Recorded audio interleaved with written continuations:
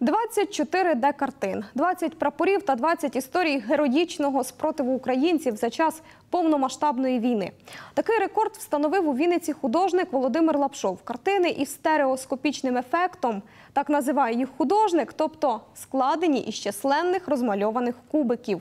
Деревину для унікальних картин із кубиків передавали з деокупованих територій військові з передової, аби потім цей матеріал перетворився на історії українців, які боролися проти російських окупантів. 20 картин із міні-кубиків створив вінницький художник Володимир Лапшов. Свою техніку називає стереоскопічним ефектом. За 19 місяців повномасштабної війни автор виставки створив 20 картин, які хронологічно відтворюють найболючіші трагедії історії українських героїв. Серед них легендарні льотчики, військові та діти. І саме ці картини увійшли до рекорду України. Збираємо табуретки, збираємо ящики, збираємо бруски, шліфуємо, ріжемо на маленькі кусочки, які ви бачите тут. Потім один раз фарбуємо.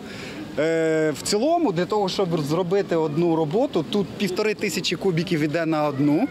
І до кожного кубіка мені приходилось по 10 разів повертатися. Тобто, для того, щоб скласти і ви побачили готову роботу, це 15 тисяч, як це правильно сказати, операцій, напевно.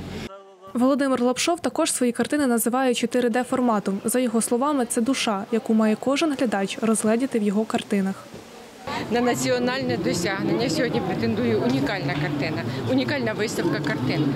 Ви знаєте, сьогодні е, номінація, яка буде оголошена, це надзвичайно е, рідкісна номінація.